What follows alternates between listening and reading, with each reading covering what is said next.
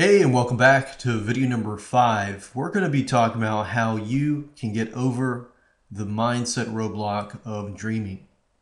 There's nothing wrong with dreaming per se. In fact, dreaming is good.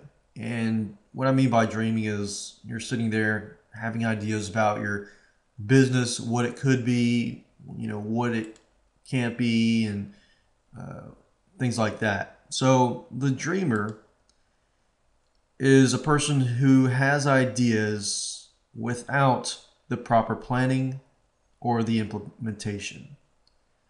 Uh, dreamers tend to hop from golden nugget to golden nugget or golden dream to golden dream. And what I mean by that is they're dreaming about one product, one way of launching their product or or implementing a feature in their product and then or creating a totally different product. And you know what? I have that same problem, but in real in all reality, we have to be realistic to ourselves. Um, especially creative people, we dream a lot, and that's not a bad thing. In fact, that's a great thing because we're able to create creative solutions to problems.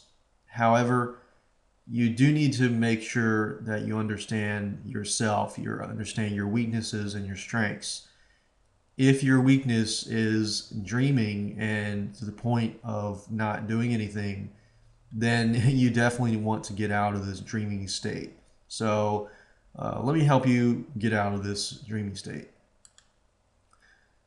Dreaming has little focus because you're hopping from one dream to another. So, how to know you are a dreamer and how to detect one.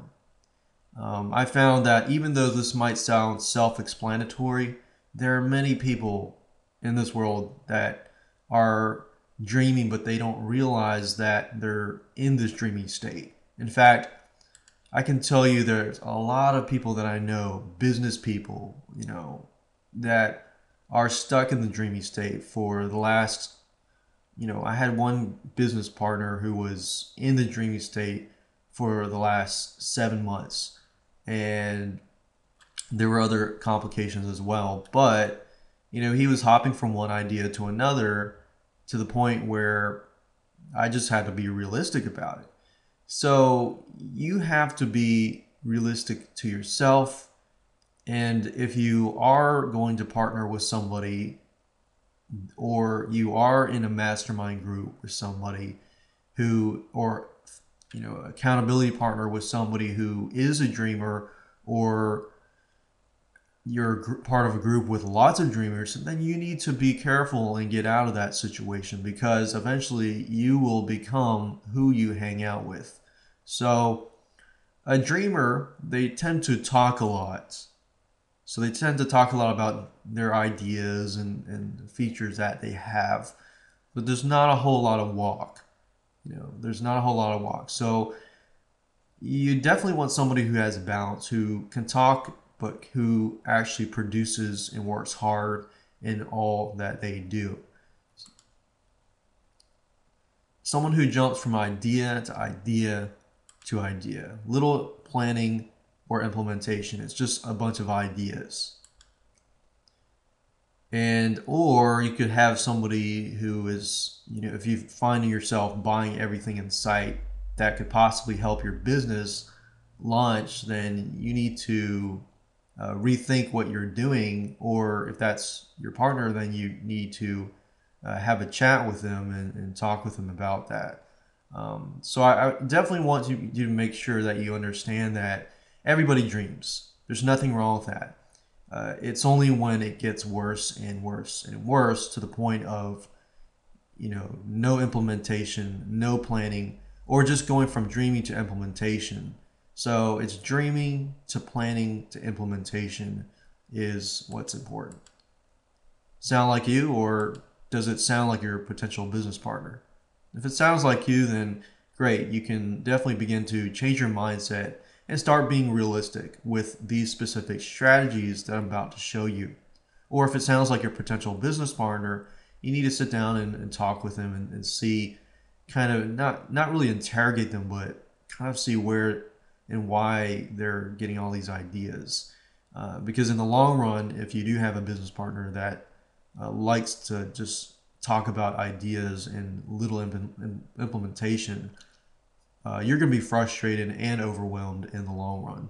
And in fact, I have experienced it twice uh, this year, uh, both with the offline business and two guys, you know, just having these super ideas, but always being vague about it and not really uh, planning. So don't invest anything uh, without planning. Don't invest the development of a website, development of uh, anything, or even invest any money without planning. If you see that they're able to plan, then that's a good sign because you can get from the dream state to the planning state to the implementation state. So here's some ways to combat the dream state. You definitely need to get in a realistic state of mind and realize that you can't do everything. You can't implement all these dreams. You can't implement all these features in your product. And you you've got to really push it forward and you know going back to the perfection video, you definitely need to launch your product or uh, get your idea or get your business launched. Um, so get in the realistic state of mind. Focus on one thing at a time and become more self accountable and I'm going to be talking about in video number seven how you can be more accountable to yourself. And I'm going to show you a spreadsheet and I'll show you how to create the spreadsheet so that you can combat it.